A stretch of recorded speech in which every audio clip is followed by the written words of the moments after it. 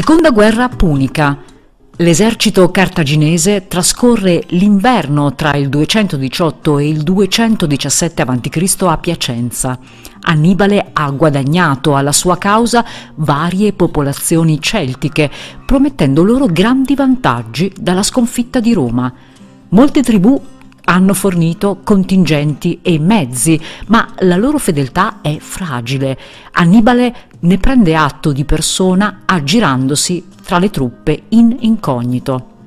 Anche per questo affretta la marcia verso sud, ma nella valle dell'Arno, esondato a causa delle intense piogge, si aprono vaste paludi, veicolo di pericolose infezioni minacciose per i soldati e per lo stesso generale.